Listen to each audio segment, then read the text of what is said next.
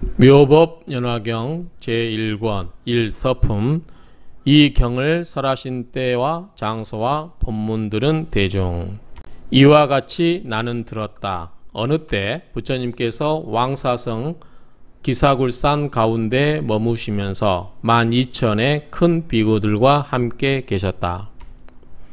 모두가 아란이고 모든 본내가 이미 다하여 다시는 본내가 없으며 이미 이로움을 얻어 결박이 있는 모든 것들이 다하여 마음의 자유자재를 얻었다. 그들의 이름은 아야 교지녀, 마하 가섭, 우르빈나 가섭, 가야 가섭, 나제 가섭, 사립을, 대목건년, 마하 가전년, 아루루테, 겁빈나, 교범바제, 이바다, 필릉 가바차, 바꾸라, 마하구치라, 난타, 선타라, 난타, 부르나미, 다라니자, 수보리, 아난, 라우라 등으로 이와 같이 대중이 알고 있는 바 대아라한들이었다. 다시 배움이 있느니 배움이 없느니 이천 사람들과 마파사 파제 비구니가 육천의 권석들과 함께 있었다. 라우라의 어머니 야수다라 비구니 또한 권석들과 함께 있었다.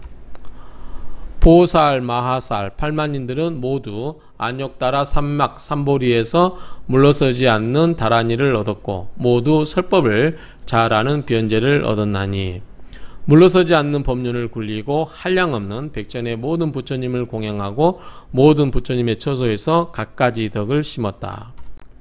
항상 모든 부처님의 처소에서 칭송과 찬탄을 받았나니 자비로 몸을 닦고 불지혜에 훌륭하게 들어가고 대지혜를 통달하여 피안에 이르렀나니 명성이 널리 한량 없는 세계에 두루하여 능히 무수한 중생들을 제도하였다.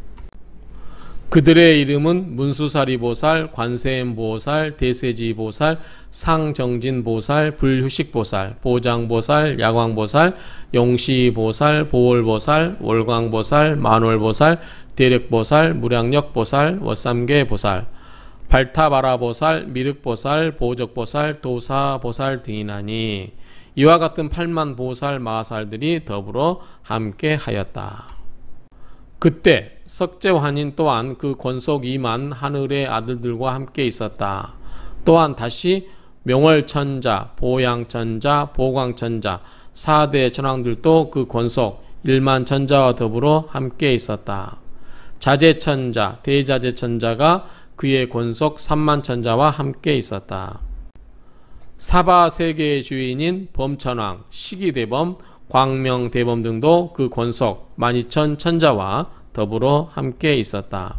여덟 용왕이 있었나니 난타 용왕, 발란타 용왕, 사가라 용왕, 화수길 용왕, 덕차가 용왕, 아나바 달다 용왕, 마나사 용왕, 우발라 용왕 등으로 각각 여러 백천 권속들과 함께 있었다. 네 명의 김나라 왕이 있었나니 법 김나라 왕, 묘법 김나라 왕, 대법 김나라 왕, 지법 김나라 왕이 각각 백천 권속들과 더불어 함께 있었다. 네 명의 건달바 왕이 있었나니 악 건달바 왕, 악음 건달바 왕, 미 건달바 왕, 미음 건달바 왕이 각각 백전의 권석들과 더불어 함께 있었다. 네 명의 아수라 왕이 있었나니 바치 아수라 왕, 거라건타 아수라 왕, 비마질따라 아수라 왕, 나우 아수라 왕이 각각 백천 권석과 더불어 함께 있었다.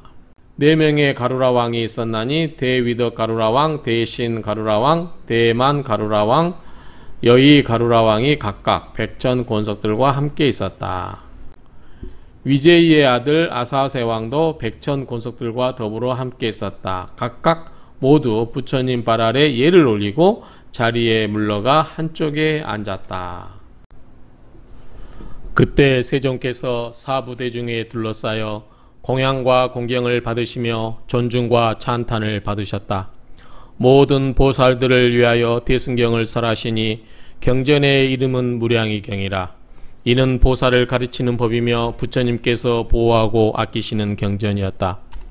부처님께서 이 경을 설하시는 것을 마치고 결과부자를 하시고 한량 없는 뜻의 삼매에 드시나니 몸과 마음이 흔들리지 않으셨다. 이때 하늘에서 만다라꽃 마하만다라꽃, 만수사꽃, 마하만수사꽃이 비처럼 내려 부처님과 모든 대중들 위해 흩어 뿌리니 널리 모든 부처님의 세계가 여섯 가지로 진동하였다. 그때 대중법회 가운데 비구, 비구니, 우바세, 우바이, 천용, 야차, 건달바, 아수라, 가루라, 긴나라, 마우라가 사람, 사람 아닌 이들, 모든 소왕들, 전륜성왕을 비롯한 모든 대중들이 지금까지 아직 한 번도 있어 보지 못하였던 불사를 만나 환희하여 합장하고 한 마음으로 부처님을 우러러 보았다. 그때 부처님께서 미간의 백호상에서 광명을 놓으시어 동쪽에 만 팔천 세계를 비추시니 아래로는 아비지옥에서 위로는 아가니타천에 이르기까지 두루 미치지 않는 곳이 없었다. 이 세계에서 저쪽 국토 끝까지 여섯 갈래의 모든 중생들이 모두 보이는도다. 또한 저쪽의 국토를 보았나니 현재 모든 부처님과 모든 부처님의 설하시는 경전의 불법을 듣는다. 또한 저 모든 비구, 비구니 우바세, 우바이들이 수행하고 도를 얻는 모습이 보이는도다. 또한 모든 보살 마하살이 각가지의 인연행, 각가지의 믿음과 이해, 각가지의 모습으로 보살도를 행하는 모습을 보았다. 또한 모두 부처님께서 반열반에 드시는 모습을 보았다. 또한 모든 부처님께서 열반에 드신 뒤에 부처님의 사리로 칠보탑을 세우는 것을 보았다. 그때 미륵보살이 이렇게 생각하였다. 지금 세종께서 신통한 변화를 나타내시나니 어떠한 인연으로 이와 같은 상스러운 일들이 나타나는 것인가? 지금 불세종께서 삼매에 드셨으니 이는 생각으로 헤아릴 수 없고 희유한 일을 나타내시려 함이로다. 마땅히 이것을 누구에게 물어야 하지만 누가 능히 대답해 줄 수 있을 것인가 하다가 다시 이렇게 생각하였다. 이 문수사리 법왕의 아들은 과거부터 한량없는 모든 부처님들을 친근 공양하여 반드시 이러한 희유한 일을 보았으니 내가 이제 마땅히 물어보리라. 그때 비구, 비구니, 우바세, 우바이와 모든 하늘, 용, 귀신 등도 모두 이러한 부처님의 광명과 신통상을 이제 마땅히 누구에게 물어보아야 할 것인가 생각하였다. 그때 미륵보살이 자신의 의심을 해결하고자 다시 사부대중을 관찰하고 비구, 비구니, 우바세, 우바이와 모든 하늘, 용, 귀신 등의 대중법회에 모인 이들의 마음을 살피고 나서 문수사리 보살에게 물어 말하되 어떠한 인연으로 이러한 상서로움이 있고 신통한 모양의 대광명이 나와 동방의 만 팔천 국도를 비추고 모든 불국토의 장엄한 경계를 모두 보게 되는 것입니까? 때 미륵보살이 이 뜻을 거듭하고자 개성으로 묻는다. 문수살이 보살이시여 도사께서 어떠한 까닭으로 미간의 백호에서 널리 대광명을 넣으시고 만다라 만수사꽃이 비 내리고 전단의 향기로운 바람이 불어 모든 중생들의 마음을 기쁘게 합니까? 이런 인연으로 국토를 모두 청정하게 장엄하고 이 세계가 여섯 가지로 진동하고 때에 사부 대중들이 모두 환희하고 몸과 뜻이 상쾌하나니 지금까지 아직 보지 못하였던 일입니다. 미간의 광명이 동방을 비추시니 만 팔천 국도가 모두 금색과 같습니다. 아래로는 아비지옥에서 위로는 아가니 다천, 정상에 이르기까지 모든 세계 가운데 육도 중생들의 생사의 갈래, 선업과 악업의 인연, 좋고 나쁜 과보받음을 여기서 모두 보게 되었습니다. 또 보니 거룩하신 부처님께서 경전을 펼쳐 설하시니 미묘하고 그 음성이 가장 청정하고 유연한 음성을 내시어 무수한 억만의 모든 보살들을 교화하십니다. 부처님의 설법은 깊고 미묘하여 사람들로 하여금 즐겨 듣게 하시며 각각의 세계마다 발음법을 강설하시니 각가지 인연과 한량없는 비유로 불법을 밝게 비추시어 중생들을 열어 깨우치십니다. 만약 어떤 사람이 고통을 당하고 늙고 병들고 죽는 것을 싫어한다면 열방과 모든 괴로움을 다하는 진리를 설하시고 만약 어떤 사람이 유복하여 일찍이 부처님을 공양하고 수승한 법을 구하면 영각의 도리를 설하십니다. 만일 어떤 불자가 갖가지 행을 닦아 위 없는 지혜를 구하면 청정한 도를 설하십니다. 문수살이 보살이시여 내가 여기 머물면서 보고 들은 바가 천억의 일들로서 이와 같이 매우 많지만 이제 간략하게 말씀드렸습니다.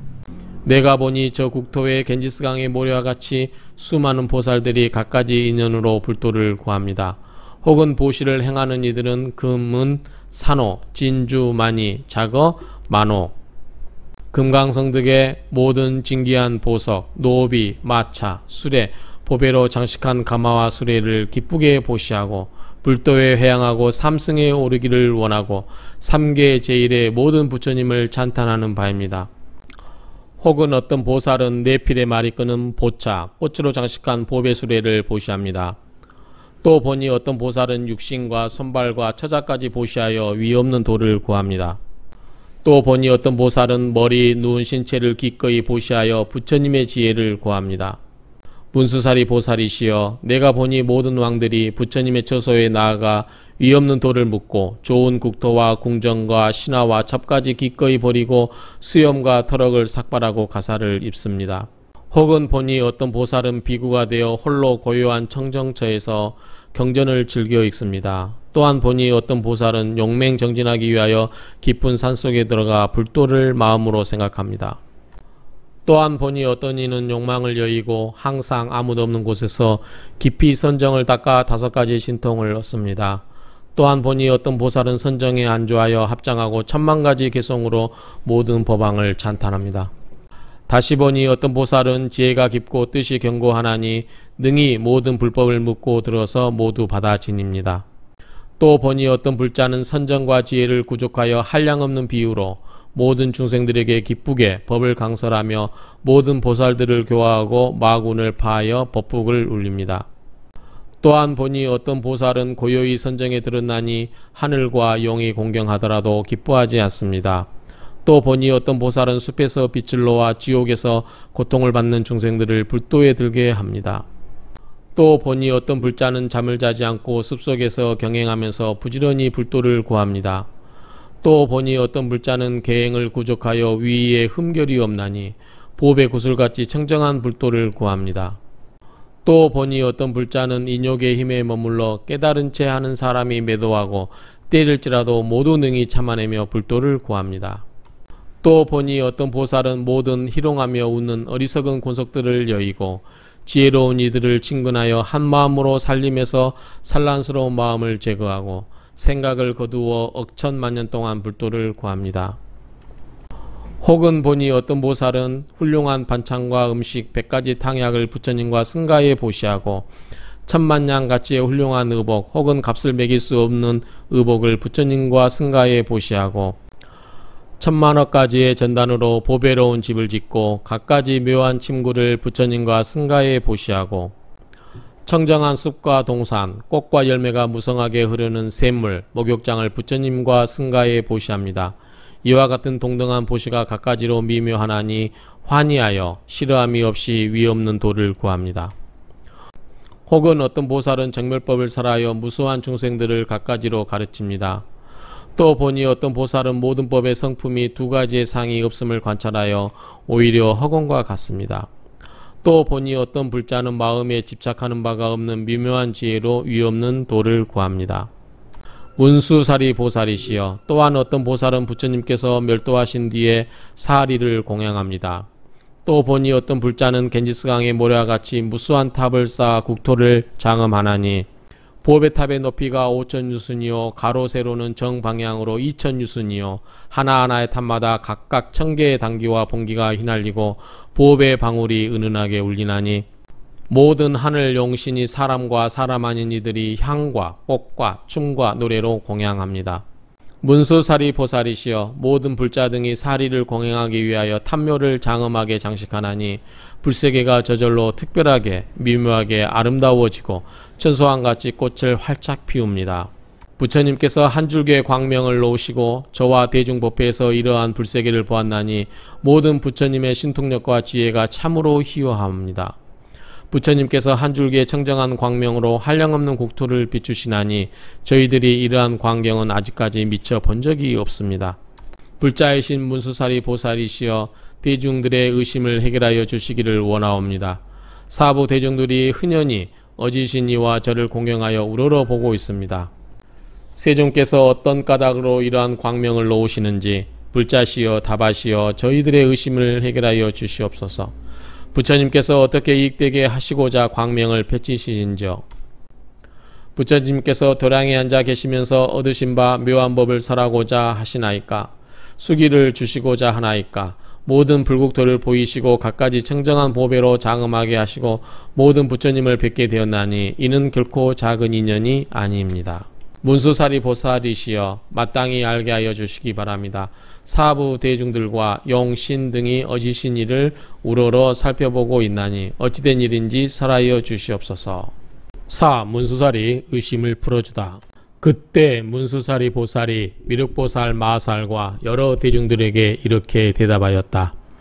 선 남자들이여 내가 헤아려 생각해 보니 지금 부처님께서는 큰 법을 설하고자 하심이며 큰 법비를 내리고자 하심이며 큰 법의 소라를 불고자 하심이며 큰 법의 북을 둥둥 치고자 하심이며 큰 법의 뜻을 말씀하고자 하심이니라. 모든 선남자들이여 나는 과거 일찍이 여러 부처님 계신 곳에서 이러한 상서로움을 보았나니 이 밝은 광명을 놓으시고는 곧 큰 법을 설하시었느니라. 그러므로 마땅히 알아라. 지금 부처님께서 광명을 놓으심도 또한 그와 같아서 일체 세간의 중생들로 하여금 믿기 어려운 법을 얻어듣고 모두 깨달아 알게 하시려고 이 상서로움을 나타내는 것이니라. 모든 선남자들이여 과거에 한량 없고 끝이 없고 생각으로 헤아릴 수 없는 아승 직업전에 부처님이 계셨습니다. 그 부처님의 명호는 1월 등명열에 응공, 정변지, 명행족, 선서, 세간의 무상사, 조장부, 천인사, 불세존이셨습니다. 바른 법을 펼쳐 설하셨나니 처음도 좋고 중간도 좋고 끝도 좋고 그 뜻이 심원하고 말씀이 오묘하고 순수하여 섞임이 없고 맑고 깨끗한 행실의 상을 갖추시었느니라.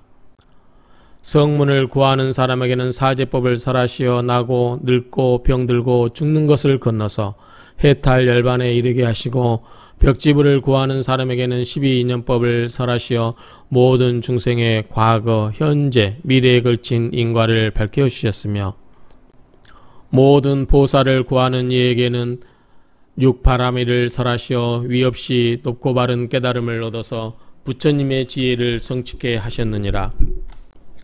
다음으로 다시 부처님이 계셨나니 그 명호 또한 1월 등명이었고 그 다음으로 다시 부처님이 계셨나니 그 명호 또한 1월 등명이었습니다. 이와 같이 이만의 부처님께서 모두 동일한 글자로 명호가 이를 등명했고 또한 성씨도 동일하여 모두 바라타이였습니다. 미륵보살이시여 마땅히 알지나니 처음 부처님이나 나중에 부처님도 모두 동일한 글자의 명으로서 1월 등명이고 10호를 구족하셨나니 설법 하시는 바가 처음과 중간과 끝이 모두 훌륭하셨습니다. 그 맨 최후의 부처님께서 아직 출가하지 않았을 때 여덟 왕자가 있었나니 첫째 이름은 유이, 둘째 이름은 선이, 셋째 이름은 무량이, 넷째 이름은 보이, 다섯째 이름은 증이, 여섯째 이름은 제이, 일곱째 이름은 향이, 여덟째 이름은 법이로서 이렇게 여덟 명의 왕자가 있었나니 이음과 덕이 자제하여 각각 사천하를 다스렸습니다. 이 모든 왕자들이 아버지께서 출가하여 안욕따라 산막보리를 얻었다는 말을 듣고 모두 왕위를 버리고 또한 따라 출가하여 대승의 뜻을 바라여 항상 범행을 닦고 모두 법사가 되어 천만 부처님 처소에서 모든 선행의 근본을 심었습니다. 이때 1월 등명 부처님께서 대승경전을 설하시니 경전의 이름이 무량이요 보살을 가르치는 법으로 부처님께서 보호하시고 생각하시는 경이었습니다. 이 경전을 설하기를 마치고 즉시 대중 가운데 가부자를 하고 무량이처 삼매에 드셨으니 몸과 마음에 흔들림이 없었습니다. 이때 하늘에서 만다라꽃, 마하 만다라꽃, 만수사꽃, 마하 만수사꽃을 비 내리듯이 부처님 위와 모든 대중 위에 흩뿌리나니 널리 부처님의 세계가 여섯 가지로 진동하였습니다. 그때 법회 가운데 비구, 비구니, 우바세, 우바이, 천용, 야차, 건달바, 아수라, 가루라, 긴나라, 마우라가 사람과 사람 아닌 이들과 모든 소왕들과 전륜송왕 등 이러한 모든 대중들이 일찍이 없던 일을 맞이하여 환희하여 합장하고 한마음으로 부처님을 우러러 보았습니다. 그때 여래께서 미간의 백호상에서 광명을 놓고 동쪽으로 18,000 불국토를 비추나니 두루 미치지 아니한 곳이 없었고 지금 보느니 모든 부처님 나라와 같았습니다. 미륵보살이여 마땅히 알지나니 그때 법회 가운데 있었던 20억 보살들이 법을 즐겁게 듣고자 하여 이 많은 보살들은 부처님의 이마에서 나온 광명이 무수한 부처님의 나라를 남김없이 비추는 것을 보고 지금까지 한 번도 없었던 깊은 감동을 느끼고 처음 보는 이 광명은 어떠한 사연이 있어 비추는지 그 까닭을 알고자 하였습니다. 그때 보살이 있었으니 이름이 묘광이요 800제자를 거느리고 있었습니다. 이때 1월 등명 부처님께서 산매를 따라 일어나시어 묘광 보살을 인연하여 대승경전을 설하셨습니다. 경전의 이름이 묘범연화경이었나니 보사들을 가르치는 설법으로 부처님께서 보호하고 생각하시는 경전입니다. 60소급을 자리에서 일어나지 않고 설법하셨나니 이때 법회에서 부처님의 설법을 듣는 이들 또한 한 곳에 앉아 60소급을 몸과 마음이 흔들리지 않고 부처님의 설법을 들었지만 이른바 밥 한 끼 먹는 시간과 같았습니다. 이때 대중 가운데 한 사람이라도 몸과 마음이 지루한 생각을 내는 사람이 없었습니다. 1월 등명 부처님께서 육시소급을 이 경전의 설법을 마치시고 즉시 범천왕, 마왕, 사문, 바라문, 하늘, 사람, 아수라의 무리 가운데 이러한 선언을 하셨습니다. 열애가 오늘 한밤중에 마땅히 온갖 번뇌와 분별이 끊어진 무여 열반에 들 것이로다. 때 보살이 있었나니 이름이 덕장이었습니다. 1월 등명 부처님께서 그에게 수기를 주시고 모든 비구들에게 말씀하셨습니다.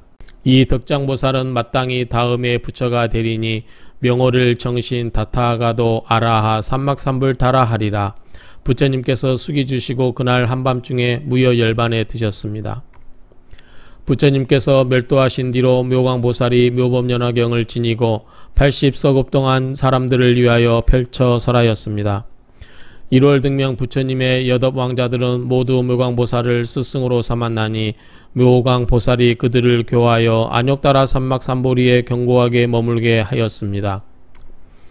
이 모든 여덟 왕자들은 한량없는 백천만억 부처님을 공양하였고 모두 불도를 이루었는데 그 중에서 가장 나중에 성불한 이의 명호는 연등이었습니다. 800 제자 가운데 한 사람은 이름을 구명이라 하였는데 이 문을 탐하고 키우는 데 집착하였습니다. 비록 다시 갖가지 경전을 독송하였지만 뜻을 분명하게 통달하지 못하고 많이 잊어버린 까닭으로 이름을 구명이라 불리게 되었습니다. 이 사람 또한 갖가지 성근을 심은 인연으로 한량없는 백천만억 부처님을 만나 뵙고 공양 공경하고 존중하고 찬탄하였습니다. 미륵보살이여 마땅히 알지니 그때의 묘광보살이 어찌 다른 사람이리요. 내가 바로 그 사람이며 구명보살은 바로 그대입니다. 이제 이러한 상서로운 일을 보니 예전에 보았던 바와 다름이 없습니다.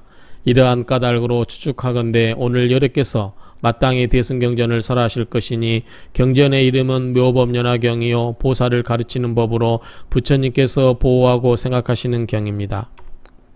그때 문수사리 보살이 대중 가운데 이 뜻을 거듭혀고자 개성으로 설하여 말하였다. 내가 과거세를 생각하여 보니 한량없는 무수한 겁전에 부처님께서 계셨나니 사람들 가운데 존귀하신 분으로서 명호는 1월 등명이었습니다. 세종께서 법을 펼쳐 설하여 한량없는 중생들을 제도하였고 무수한 억수의 보살들을 부처님의 지혜에 들게 하셨습니다. 1월 등명 부처님께서 아직 출가하시기 전 여덟 왕자를 두셨나니 아버님이신 대승자께서 출가하시는 것을 보고 또한 따라서 범행을 닦았습니다. 때 1월 등명 부처님께서 대승경을 설하시니 그 경전의 이름이 무량의경이요 모든 대중 가운데 광대하게 분별하여 법을 설하였습니다. 부처님께서 그 경전의 설법을 마치고 즉시 그 법자 위에서 결과부자 하시고 삼매 드셨으니 그 삼매 이름이 무량의처입니다. 하늘에서는 만다라 꽃비가 내리고 하늘북이 저절로 울리나니 모든 하늘과 영과 귀신들이 인간 가운데 가장 존귀하신 세종께 공양하였습니다. 일체의 모든 불국토가 즉시 크게 진동하고 부처님께서 미간에 광명을 놓으시니 많은 희유한 상스러운 일들이 나타났습니다. 그 광명이 동방으로 1만 8천 불토를 비추나니 그대들이 모든 중생들의 낳고 죽는 어포처를 보고 있는 것입니다. 모든 불국토를 보니 각가지의 보배로 장엄하였습니다. 유리 색깔, 파리 색깔의 부처님의 광명이 비추는 까닭으로 모든 하늘과 사람, 용신, 야차, 무리, 건달바, 긴나라가 보고 각각 그 부처님께 공양합니다.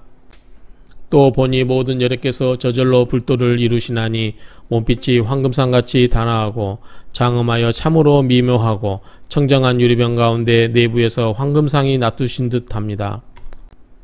세종께서 대중 가운데 계시면서 깊은 법의 이치를 펼치시나니 하나하나의 모든 불국토마다 무수한 중생들이 부처님의 음성을 듣고 부처님께서 광명을 비추시니 모두 저쪽 피안의 대중들을 보게 됩니다. 혹은 어떤 비구는 숲 가운데 있으면서 정진하고 청정한 계를 지키나니 비유하자면 밝음을 지키는 구슬과 같습니다. 또 보니 어떤 보살은 보시, 인욕 등의 바람이를 행하나니 그 수요가 겐지스강의 모래와 같이 무수히 많지만 부처님의 광명으로 말미암아 환하게 비춥니다. 또 보니 어떤 보살은 깊은 선정에 들어갔나니 몸과 마음이 정멸하고 부동하여 위없는 도를 구합니다. 또 보니 어떤 보살은 법의 정멸상을 알고 제각기 그 극도에서 설법하고 불도를 구합니다. 그때 사부대중의 1월 등명불께서 대신통력을 놔두심을 보고 그 마음에 모두 환희하면서 무슨 인연으로 이런 일이 일어나는가 하고 각각 서로 자문하였습니다. 하늘과 인간들이 받들어 존경하는 세종께서 마침 삼매에서 일어나시어 묘광보살을 찬탄하셨습니다. 그대는 세간의 눈이 되고 모든 이들이 믿고 귀하리니 능히 법장을 받들어 지녀라. 내가 설법한 바와 같이 오직 그대만이 능히 증득하여 알 것이로다.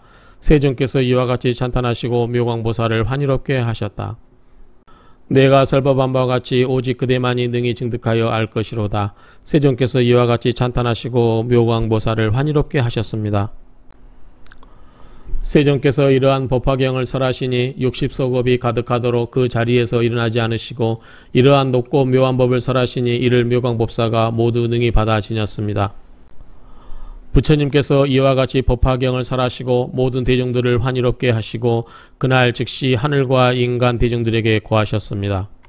모든 법의 실상의 도리를 이미 그대들을 위하여 모두 설하여 나는 이제 한밤중에 마땅히 열반에 들 것이로다. 그대들은 한마음으로 정진하여 마땅히 방일하지 말지로다.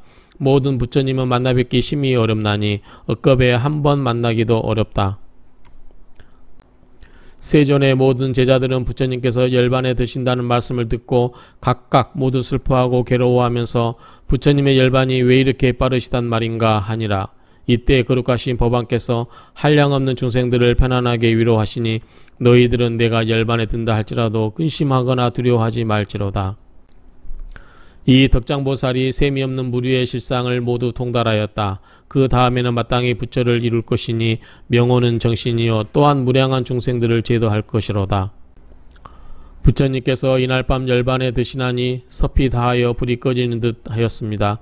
이에 모든 사리를 나누어 퍼뜨려서 한량없는 탑을 세웠습니다. 겐지스강의 모래와 같이 수많은 비구와 비구니들이 다시 몇 갑절을 더 정진하여 위없는 돌을 구하였습니다. 이 묘광법사가 부처님의 법장을 받들어 지니고 80소급의 가운데 법화경을 광대하게 펼쳤습니다. 이 모든 여도방자들은 묘광법사의 교화를 받아 위없는 돌을 견고하게 닦아 마땅히 무수한 부처님을 배웠습니다. 모든 부처님께 공양을 마치고 가르침에 수순하여 대도를 행하여 서로 잇따라 성물하여 차례차례로 수기를 전하였습니다. 최후의 하늘 가운데 부처님은 명호가 연등불이시나니 많은 성자 스승되어 한량없는 중생들을 제도하여 해탈하게 하셨습니다. 그 모강법사에게 당시에 한 제자가 있었나니 마음이 항상 게으르고 이름과 이익을 탐하여 집착하고 이름과 이익을 구하기를 싫어함이 없고 이름 있는 가문의 사람들과 많이 어울리다 보니 익히고 애온 경전들을 등한히 하고 잊어버리고 통하지 못하게 되었고 이로 인해 구명이라 불리웠습니다. 그렇지만 갖가지 선업을 행하였고 무수한 부처님을 뵙고 모든 부처님을 공양하고 큰 도를 따라 닦아 행하고 육바라미를 구족하여 이제 석가모니 부처님을 만나 뵙게 되었습니다. 그 다음에 마땅히 부처를 이루고 명호를 미르기라 하리니 모든 중생들을 광대하게 제도하여 그 수요가 한량없을 것입니다. 저 부처님께서 멸도하신 뒤로 게으르게 보낸 구명이라는 사람은 바로 그대이고 묘광법사는 지금 바로 나이니라. 내가 보니 등명 부처님의 본래 상서로운 광명이 이와 같았나니 이제 석가모니 부처님께서 법화경을 설법하고자 하심을 알겠습니다. 지금의 이와 같은 모양은 본래 상서로운 것과 같나니 이는 모든 부처님의 방편으로 이제 부처님께서 광명을 놓으심은 실상의 뜻을 밝히려 하시니 그대들은 바로 알라 합장하고 한 마음으로 기다리면 부처님이 법비를 내려 구두자를 충족하게 하실 것입니다. 모든 삼승을 구하는 사람들이 만약 의심하는 바가 남아 있다면 부처님께서 마땅히 모두 끊어내시어 남음이 없게 하실 것입니다. 방편품 삼매에서 일어나시어 법을 찬탄하다. 그때 세종께서 조용히 삼매에서 일어나 사리불에게 말씀하셨다.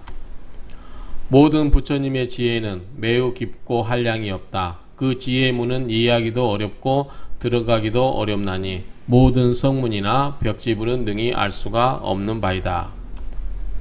왜냐하면 부처님께서 일찍이 무수한 모든 부처님을 친근하시어 모든 부처님의 한량없는 도법을 끝없이 수행하였고 용맹정진하여 명성이 널리 알려졌다.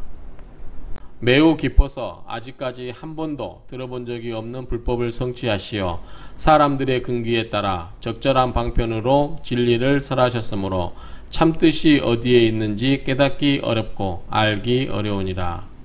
사리불이여 내가 성부를 마치고 각가지의 인연, 각가지의 비유로 광대하게 펼쳐서 가르치고 무수한 방편으로 중생들을 인도하여 모든 집착을 여의케 하리라.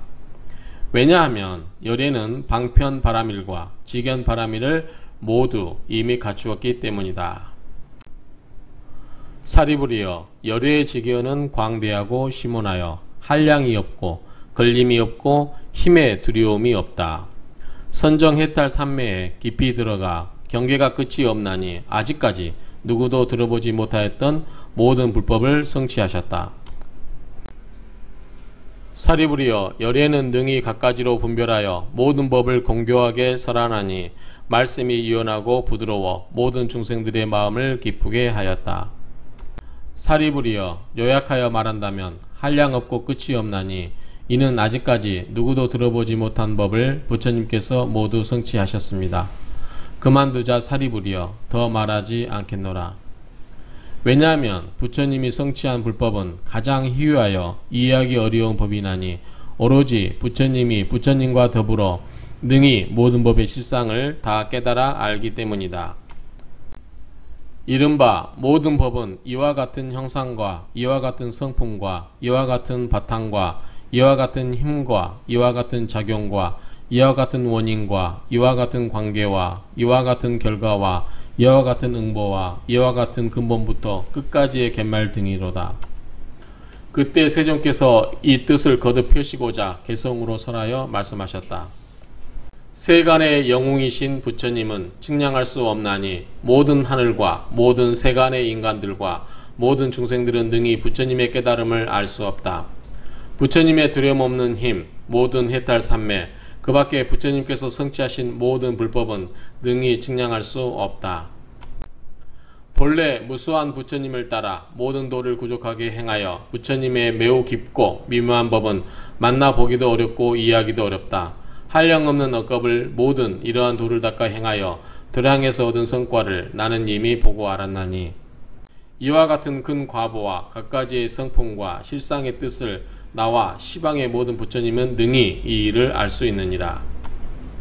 이러한 법은 볼 수도 없고 말씀과 상이 정멸하나니 믿음이 견고한 보살들을 제하고는 모든 남은 중생들은 능히 이해할 수 없느니라. 모든 부처님의 제자들도 모든 부처님을 공양하고 모든 서해는 번뇌가 다하야 최후의 몸에 머무는 이와 같은 모든 사람들도 그 힘을 감당할 수 없다. 가령 세상에 가득한 모든 사리불과 같은 이들이 모두 함께 생각을 다하여 열양할지라도 부처님의 지혜에는 능히 측량할 수 없다.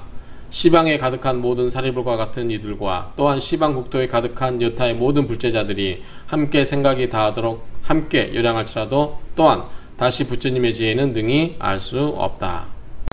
벽지불의 날카로운 지혜로 셈이 없는 가장 마지막에 몸을 가진 이들이 시방색에 가득하여 그 수요가 대나무 숲과 같이 수많은 이들이 함께 한 마음으로 한량없는 억겁의 세월을 부처님의 여실한 지혜를 생각하고자 할지라도 부처님의 지혜의 아주 적은 부분이라도 능히 알지 못할 것이로다.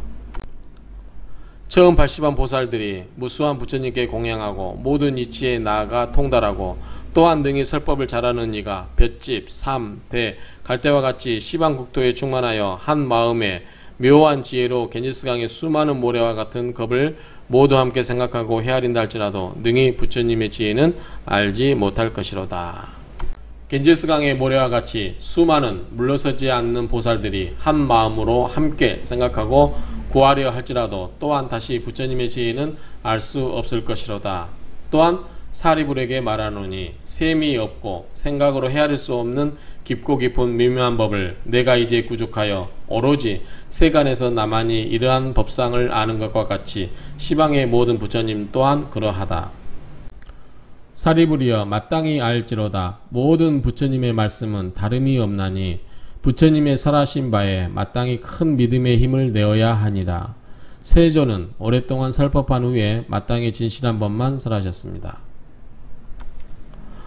모든 성문승과 영각승을 구하는 이들에게 고하나니 괴로움의 결박을 벗어나게 하고 열반을 얻게 하고자 부처님의 방편의 힘으로 이러한 삼승의 가르침을 보이나니 곳곳마다 집착하는 중생들을 이끌어 빠져나오게 하려 함이로다. 그때 대중 가운데 모든 성문으로 본내가 다한 아라한 아야 교진여 등 1200사람들과 성문과 벽지불의 마음을 낸 비구, 비구니 우바세, 우바이들이 각각 이러한 생각을 하였다.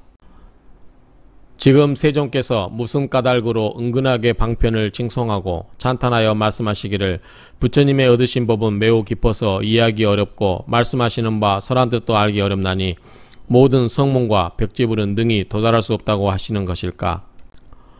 부처님께서 한 번 설하신 해탈의 이치를 우리 또한 이러한 법을 얻어 열반에 도달하였는데 이제 이렇게 뜻하시는 바를 알 수 없다. 그때 사리불이 사부대 중의 의심을 알아차리고 자신 또한 아직도 분명히 알지 못하여 부처님께 여쭈어 보았다. 세존이시여 어떠한 인연으로 모든 부처님께서 제일 가는 방편과 매우 깊고 미묘하여 알기 어려운 법을 은근히 칭송하고 찬탄하십니까? 저희들은 스스로 옛적부터 부처님의 이와 같은 설하심을 아직 들은 적이 없습니다. 지금 사부 대중들이 모두 의아해 하고 있사오니 오로지 바랍건대 세종께서 이 일에 대하여 펼쳐 설하여 주시기를 바랍니다. 세종께서는 어떠한 까닭으로 매우 깊고 미묘하여 이해하기 어려운 법이라고 은근히 징송하고 찬탄하시는 것입니까? 그때 사리불이 이 뜻을 거듭하고자 하여 개성으로 말한다.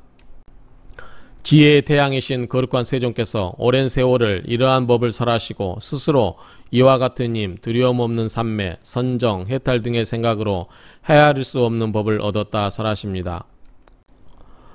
도량에서 얻은 바 법으로는 능히 물을 수 있는 이도 없고 저도 뜻을 측량하기 어렵지만 또한 능히 묻는 이도 없었습니다. 물음도 없이 스스로 설하시고 행하신 도를 칭송하고 찬탄하시니 깊고 미묘한 지혜는 모든 부처님의 얻으신 바입니다.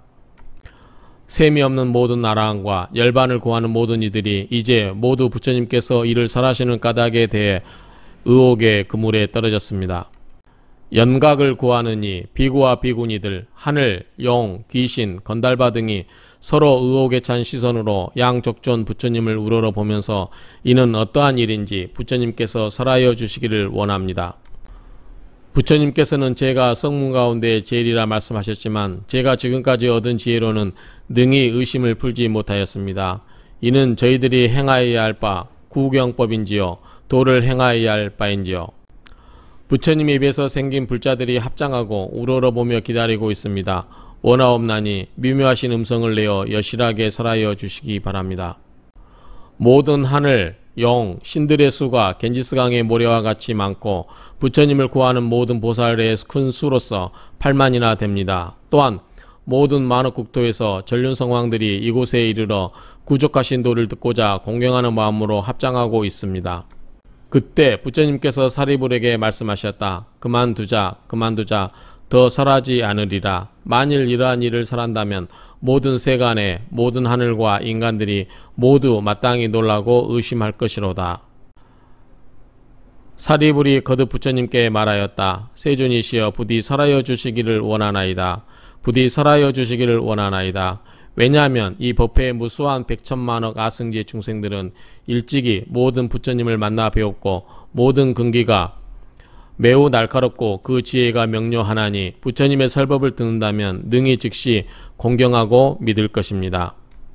그때 사리불이 이 뜻을 거듭하고자 하여 개성으로 말한다. 위없는 높은 법왕이신 세존이시여 원컨대 염려하지 마시고 부디 설하여 주십시오. 이 법회에 한량없는 모든 대중들은 능히 이를 공경하고 믿을 것입니다. 부처님께서 다시 사리불을 제지하시고 말씀하시었다. 만일 이 사실을 설한다면 모든 세간의 하늘, 사람, 아수라들은 모두 깜짝 놀라 의심할 것이요 깨달은 채 하는 교만한 비구들은 큰 구렁텅 이에 떨어지게 될 것이로다. 그때 세종께서 다시 개성으로 설하여 말씀하셨다. 그만두자, 그만두자, 더 말하지 말자. 나의 법은 미묘하여 생각하기 어렵나니 깨달은 채 하는 교만한 이들이 듣는다면 반드시 공경하지 않고 믿지 않을 것이다. 그때 사리불이 거듭 부처님께 말한다. 세존이시여 원컨대 부디 살아여 주십시오. 원컨대 부디 살아여 주십시오. 지금 이 법회 가운데 저희들과 같은 백천만억의 무리들은 세세생생 지난 세월 동안 부처님의 교화를 받았나이다. 이와 같은 사람들은 반드시 능히 공경하고 믿으리니 긴긴 밤이 안온할 것이요 그 이익이 많을 것입니다. 그때 사리불이 이 뜻을 거듭 해고자 하여 개성으로 말한다. 위없는 양족전 부처님이시여 제일 가는 법을 설하여 주시기를 원합니다. 저희는 부처님의 큰 아들이 되고자 하나이다. 오로지 분별하여 설하여 주시면 이 법회에 한량없는 대중들은 능히 이 법을 공경하고 믿을 것입니다. 부처님께서 이미 세세생생 이와 같이 교화하셨나니 모두 한 마음으로 합장하여 부처님의 말씀을 듣고자 합니다.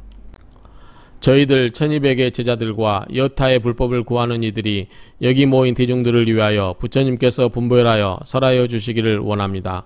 이들은 이 법을 들으면 즉시 대환희심을 낼 것입니다. 그때 세종께서 사리불에게 말씀하셨다. 그대가 이제 은근하게 세 번이나 청하니 어찌 설하지 않을 수 있겠는가? 그대들은 이제 자세히 듣고 잘 생각하고 생각할지어로다. 내가 마땅히 이제 그대들을 위하여 분별하여 해설하리라. 이러한 말씀을 설하실 때 법회 가운데 있던 비구, 비구니, 우바세, 우바이들 오천 사람들이 즉시 자리에서 일어나 부처님께 예를 올리고 물러갔다. 왜냐하면 이 무리들은 죄의 뿌리가 깊고 무거워 깨달은 채 하는 교만한 증산만들이니 아직 도를 얻지 못하였지만 얻었다 생각하고 아직 도를 증득하지 못하였지만 도를 증득하였다고 생각하는 이들이다. 이러한 허물이 있어서 이들은 법회에 머물지 않나니 세종께서 무견히 계시면서 이들을 말리지 아니하셨다. 그때 부처님께서 사리불에게 말씀하셨다. 이제 여기 남아있는 대중들은 더 이상 다시 가지나 이파리가 없고 오로지 순수하고 정갈한 열매들만 있다. 사리불이여 이와 같이 깨달은 채 하는 교만한 증산만인들은 또한 물러감이 좋다. 그대들은 이제부터 잘 들을지로다. 내가 그대들을 위하여 마땅히 살아리라. 사리불이 말한다. 세준이시여 원컨대 즐겁게 듣고자 하나이다. 부처님께서 사리불에게 말씀하시었다. 이와 같이 미묘한 법은 모든 부처님 여러께서 항상 때가 성숙하여야 설법하는 법이로다. 이는 마치 우단바라 꽃이 그 때가 되어야 한 번 피어나는 것과 같은 이치로다. 사리불이여 그대들은 마땅히 부처님이 설한 바를 믿을지니 부처님의 말은 결코 허망하지 않다. 사리불이여 모든 부처님은 마땅하게 수순하여 법을 설하지만 그 뜻하는 바를 이해하기 쉽지 않다. 왜냐하면 나는 무수한 방편과 갖가지 인연과 비유와 언사로서 모든 법을 설하니라. 이러한 법은 생각하거나 분별하여 능히 이해할 수 있는 것이 아니요 오직 모든 부처님만이 능히 알 수 있는 것이로다. 왜냐하면 모든 부처님 세종께서는 오직 이러한 일대사의 인연으로 이 세간에 출연하기 때문이다. 사리불이여 어찌하여 이름하기를 모든 불세존 부처님은 오직 일대사 인연이 있는 까닭으로 세간에 출연한다 하는 것인가? 모든 부처님 세종께서는 부처님의 직연을 열어서 중생들로 하여금 청정을 얻게 하기 위하여 세상에 출연하고 중생들에게 부처님의 직연을 알게 하려는 까닭으로 세상에 출연하고 중생들로 하여금 부처님의 직연을 깨닫게 하기 위한 까닭으로 세상에 출연하고 중생들이 부처님의 직연의 도에 들게 하려는 까닭으로 세상에 출연하였다. 사리불이여 이것이 모든 부처님께서 오로지 일대사 인연으로 세상에 출연하는 까닭이로다. 부처님께서 사리불에게 말씀하셨다. 모든 부처님 열에는 다만 보살들을 교화하고 모든 지은 바는 항상 이러한 일대사를 위하여 오로지 이러한 부처님의 직연을 중생들에게 보이어 깨닫게 하려 함이로다. 사리불이여 열에는 다만 일불승으로만 중생들에게 설법하는 까닭으로 이승이라거나 삼승이라 하는 다른 법은 없는 것이로다. 사리불이여 모든 시방세계의 모든 부처님의 법 또한 이와 같다. 사리불이여 과거의 모든 부처님께서 한량없고 무수한 방편과 갖가지의 인연과 비유와 말로 모든 중생들을 위하여 모든 법을 펼쳐 설하였지만 이러한 법은 모두 일불승을 위한 것이나니 모든 중생들이 여러 부처님을 따라 불법을 듣고 마침내 일체 종지를 얻었다.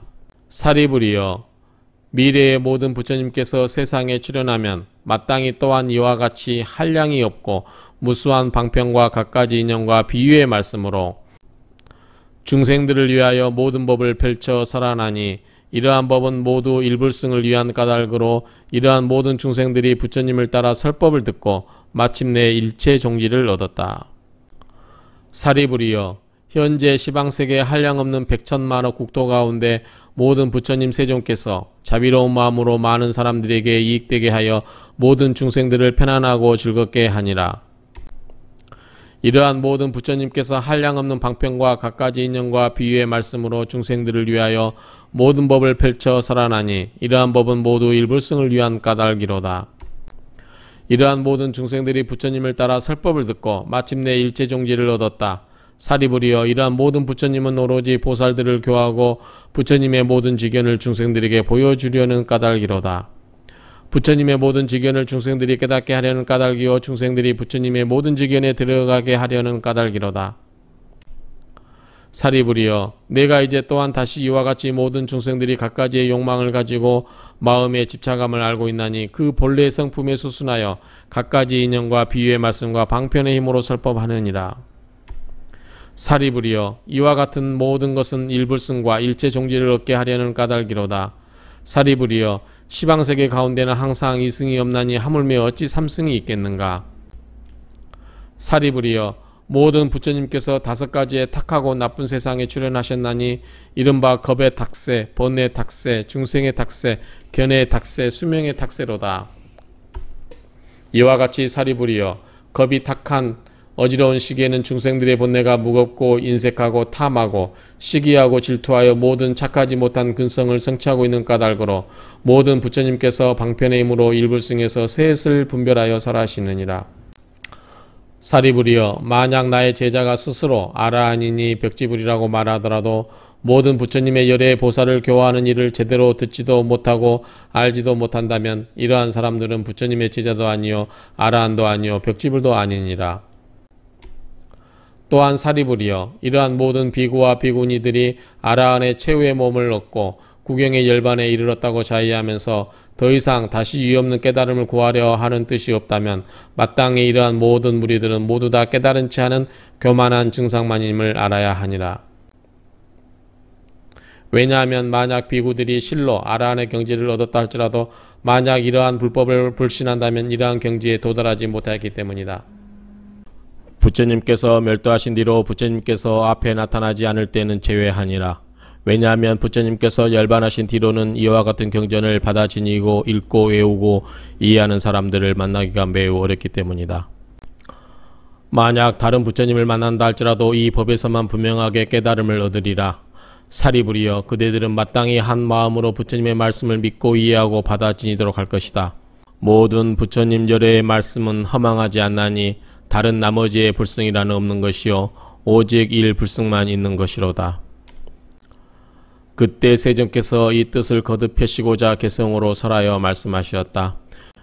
비구와 비구니로서 깨달은 자는 교만한 증상만의 마음을 가졌거나 우바세로서 나라하는 암만심이 있거나 우바이로서 불신하는 이와 같은 사부 대중의 숫자가 5천 명이나니 스스로 그들의 허물은 보려하지 않고 계행에 흠결과 셈이 있나니 자기들의 부족한 부분을 감추려 하는 작은 지혜를 가진 이들은 모두 빠져나가 버렸다.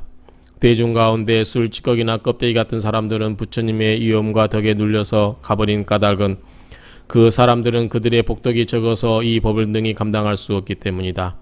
여기에 남아있는 대중들은 가지나 이파리가 없고 오로지 모두 정갈하고 튼실한 열매뿐이로다. 사리부리여 잘 들을지로다. 모든 부처님께서 얻으신 법은 한량없는 방편의 힘으로 중생들을 위하여 설하시느니라. 중생심에 생각하는 바 갖가지 행하는 도와 약간의 모든 욕망의 성품과 전생에 지은 모든 선하고 악한 업을 부처님께서는 이미 모두 알고 있나니 모든 인연과 비유의 말씀과 방편의 힘으로 모든 중생들을 환희하게 하니라. 혹은 수다라, 가타, 본사, 본생, 미증유 또한 인연과 비유와 기야, 우바제사 등의 경전을 설하시느니라. 근기가 둔한 이들은 소승법을 좋아하여 생사를 탐하고 집착하여 모든 한량없는 부처님의 깊고 깊은 묘한 도를 닦지 않고 갖가지의 괴로움과 혼란스러움에 시달린다. 이들을 위하여 열반을 살아나니 내가 이러한 방편으로 부처님의 지혜를 얻어 들어가게 할 것이로다.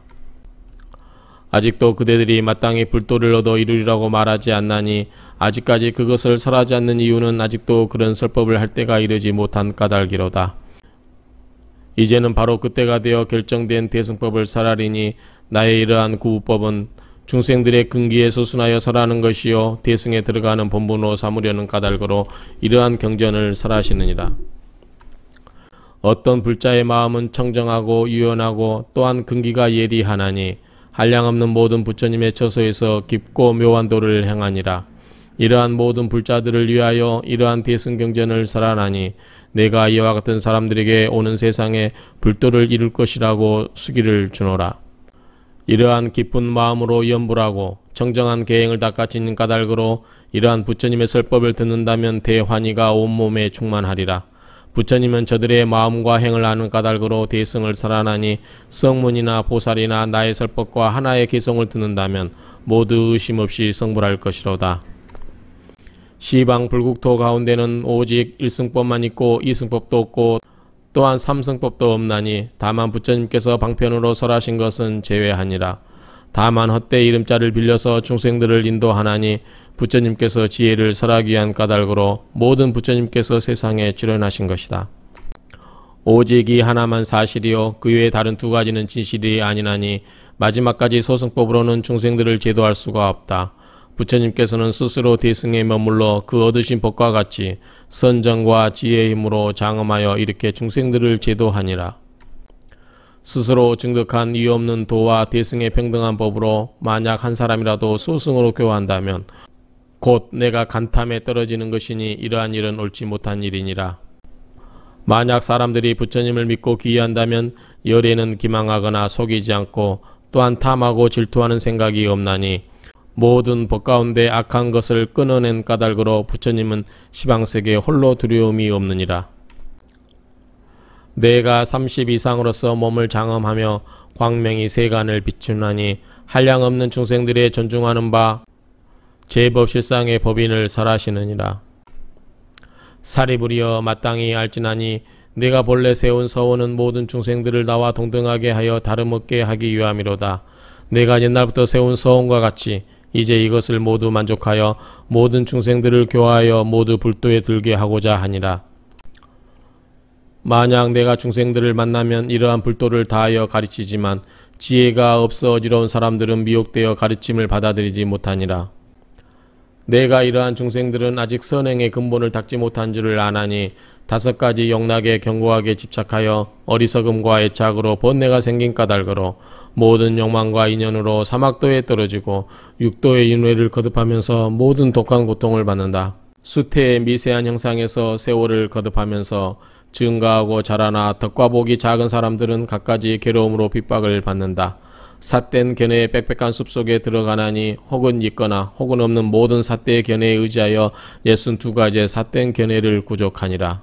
허망한 법에 깊이 집착하여 견고하게 받아들여서 버리지 못하고 자기라는 교만심과 자긍심이 높고 아첨하고 삐뚤어진 마음으로 진실됨이 없고 천만 억겁이 흐를지라도 부처님의 명호조차 들어보지 못하고 또한 바른 법을 듣지 못하나니 이와 같은 사람은 제도하기 어렵다.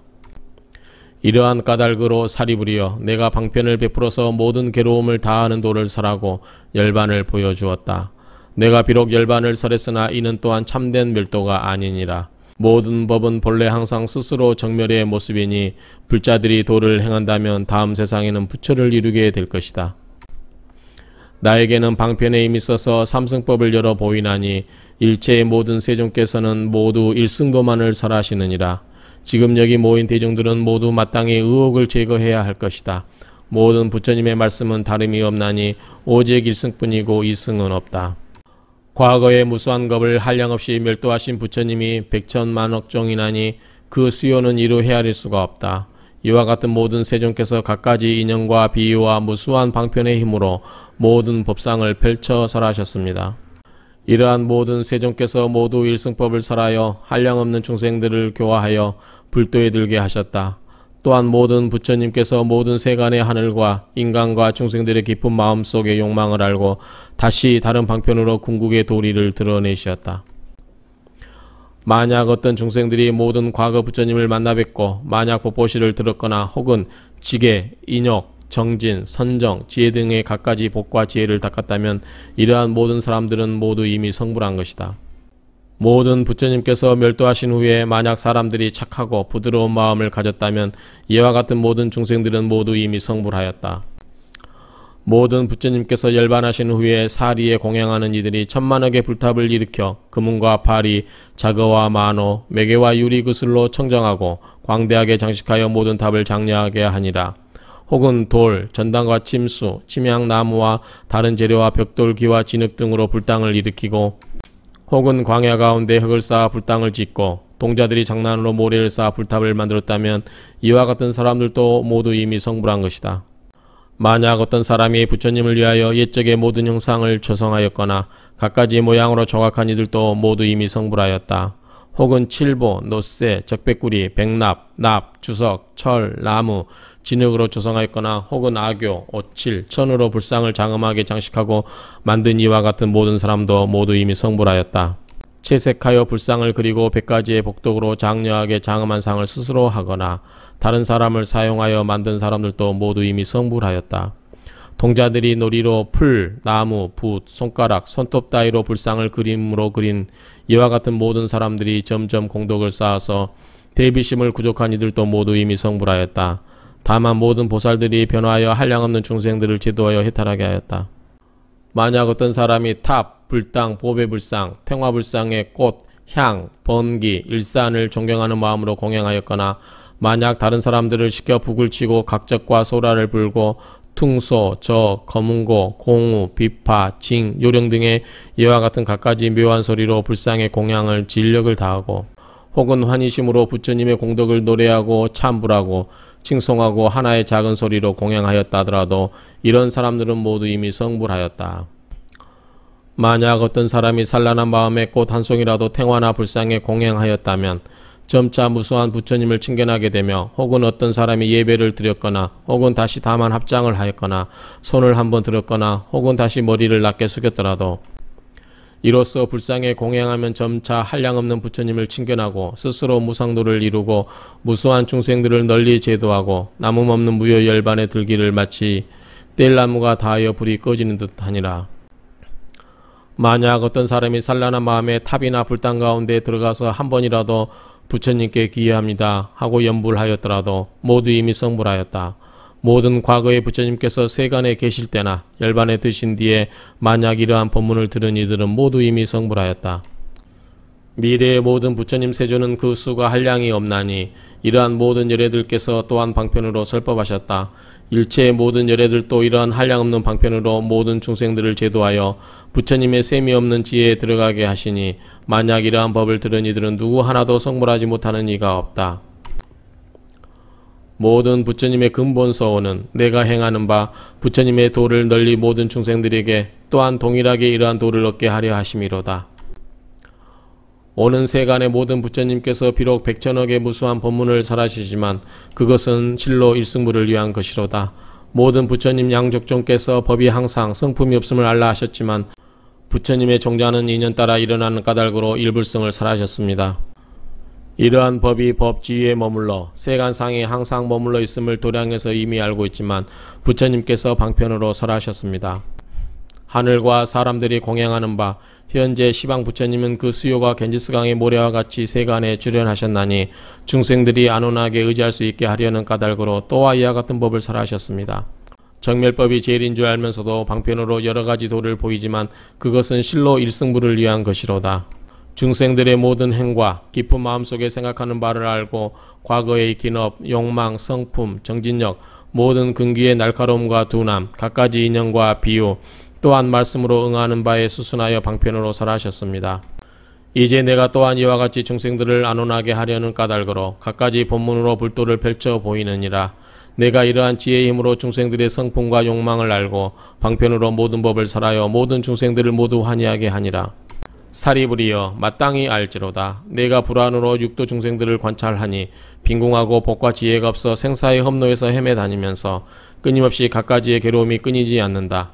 오욕에 깊이 집착하여 털을 가진 소가 꼬리를 아끼듯이 탐욕으로 스스로를 가려 눈먼 소경처럼 보이는 바가 없다. 대세력을 가진 부처님을 구하지도 않고 괴로움을 끊는 법도 구하지 못하고 모든 삿된 견해에 깊이 들어가 괴로움과 욕망으로 고통에서 헤어나지 못하나니 이러한 중생들을 위하는 까닭으로 대비심을 일으키는도다. 내가 처음 도량에 앉아 나무를 관찰하고 또한 경행하면서 삼칠일을 지내면서 이와 같은 일을 사유하였다. 내가 얻은 지혜는 아주 미묘하여 세간에서 제일이지만 중생들의 모든 근기가 둔하여 어리석은 쾌락에 집착하나니 이와 같은 중생들을 어떻게 제도할 수 있을 것인가? 그때 모든 범천왕과 제석천왕과 세간을 수호하는 사천왕과 대자재천과 여타의 모든 하늘의 무리들이 권속 백천만과 함께 공경 합장하여 예를 올리고 나에게 법륜을 굴리기를 청하였다. 내가 즉시 스스로 사유하나니 만약 내가 다만 일불승을 찬탄만 하고 중생들의 고통을 모른 채 한다면 능히 이런 법을 믿을 수 없으리로다. 법을 파하고 믿지 않는 까닭으로 사막도에 떨어지리니 내가 설법하지 않고 속히 열반에 들면 편하겠지만 과거의 모든 부처님을 깊이 생각하고 방편의 힘을 행하여 내가 지금까지 얻은 바 도로서 또한 마땅히 삼승을 설하리라. 이렇게 사유했을 때 시방의 부처님께서 모두 나타나시어 범음으로 나를 위로하시기를 거룩하도다 석가모니여 하시면서 제일이신 도사님께서 얻으신 이러한 유없는 법에 수순하여 모든 부처님께서도 방편의 힘을 사용하여 우리들 또한 모두 가장 미묘한 제일 가는 법을 얻어 모든 중생들을 위하여 분별하여 삼승을 설하셨습니다. 작은 지혜로 적은 법에 만족하여 즐기는 이들은 스스로 부처가 될 수 있음을 믿지 않나니 이러한 까닭으로 방편으로 분별하여 모든 불과를 분별하여 설하고 오직 다시 삼승을 설하여 다만 보살들을 가르치기 위함입니다. 사리불이여 마땅히 알지로다. 내가 거룩한 부처님의 깊고 청정하고 미묘한 음성을 듣고 모든 부처님께 귀하여 연불하였다. 다시 이와 같이 생각하였다. 내가 탁한 악세에 나왔지만 모든 부처님께서 설하신 바와 같이 나 또한 수순하여 행하리라. 이와 같이 사유를 마치고 즉시 바라나국에 나아갔나니 모든 법의 정멸상을 말로 다 펼칠 수 없지만 방편의 힘으로 다섯 비구를 위하여 설하여 이를 이름하여 전법륜이라 하느니라. 열반음으로 이러한 아란, 법, 승, 삼보의 차별한 이름이 성립하게 되었다.